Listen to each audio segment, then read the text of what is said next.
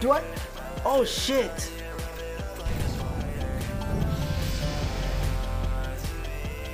That feel when you're not famous enough for anyone to take your name.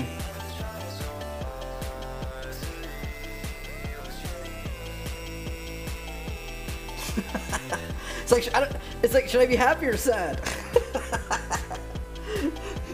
like no one tried, not even one person tried to take the name while I was making a character. Like come on, dude.